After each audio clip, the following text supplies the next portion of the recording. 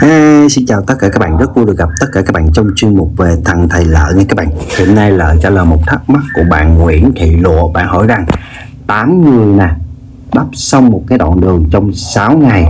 Hỏi muốn đắp xong đoạn đường đó trong 4 ngày thì cần bao nhiêu người?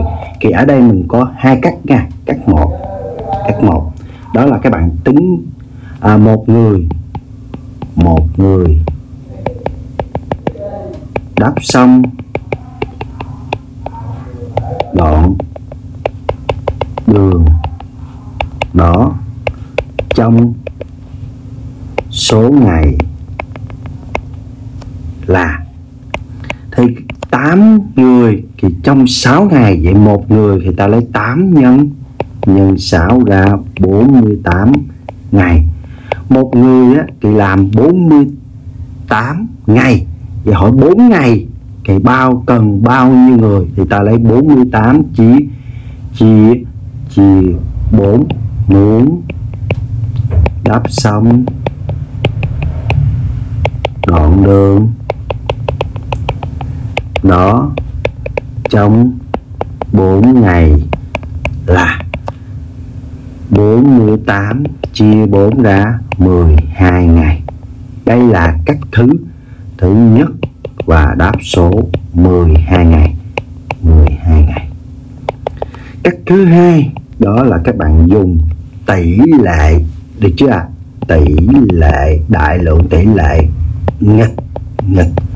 Rồi, các bạn nhìn nè. 8 ngày 8 người nha 8 người thì làm trong 6 ngày. Người ta hỏi 4 4 ngày. 4 ngày hay là 4 người ạ à? 4 ngày.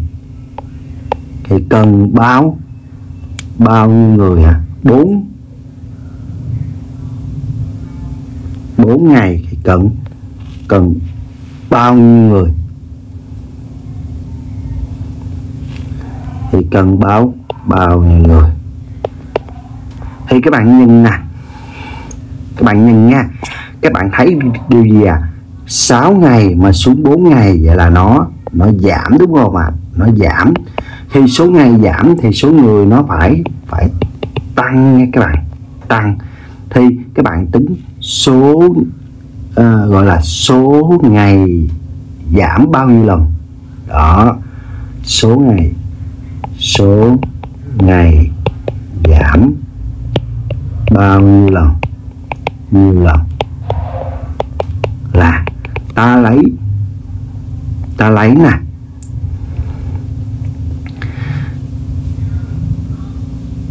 Ta lấy um, ta lấy 4 chia 6 bằng 2 phần 3 lần. Được chưa?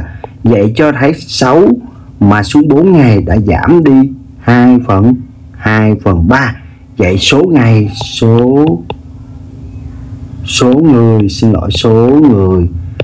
Tăng, bao, nhiêu lần là. Thì ta lấy số người nhân đi hai phần. Xin lỗi, chia hai phần. Phần ba nha các bạn. Chia hai phần phần ba. Vậy ra là nhân chia thành nhân nghịch nghịch đảo 8 nhân 3 là 24 24 chia 2 được 12 người được chưa ạ? Thì mình thấy cách hai này nó sẽ khó hiểu hơn. Được chưa khó hiểu hơn. Đó, khó hiểu hơn. Bạn nào muốn dùng cách nào là quyền quyết định của các bạn nha các bạn. Các bạn cảm giác cái cách nào dễ thì các bạn dùng cách đó nha. Rồi, thôi, xin chào và hẹn gặp lại tất cả các bạn trong quá trình hướng dẫn có chỗ nào bị sai với chỗ nào bị thiếu, các bạn cố gắng comment giúp lợi để lợi khắc phục những đoạn clip sau trở nên hay và ý nghĩa hơn. Rồi xin chào và hẹn gặp lại mọi người. Xin cảm ơn. Bye bye.